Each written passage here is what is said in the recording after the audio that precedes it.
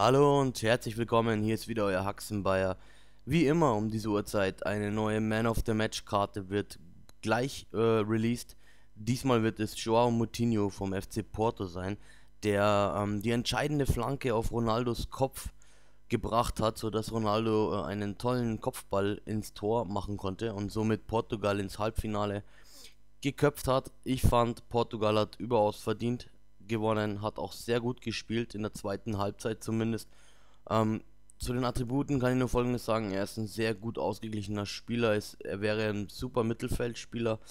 Ähm, und diesmal zeige ich euch keine lila, lilane Karte, weil EA nicht dazu fähig war, eine lilane Karte zu präsentieren. Sie äh, haben nur dieses Attributenfenster ähm, präsentiert. Mich interessiert es wie immer, Habt ihr äh, ihn vielleicht schon gezogen? Wollt ihr ihn äh, ziehen? Macht ihr ein Pack-Opening? Ähm, was haltet ihr überhaupt von dieser Karte, von diesem Spieler? Und ähm, von meiner Seite aus kann ich nur sagen, ich werde ihn nicht ziehen, ich werde ihn nicht kaufen. Erstens keine Kohle, zweitens kein Pack-Opening möglich, leider. Aber bald mache ich wieder ein Pack-Opening. Ich habe noch ein, zwei auf meiner Festplatte. Bis dahin, schreibt fleißig in die Kommentare, und ähm, ich sage ciao, euer Haxenbayer.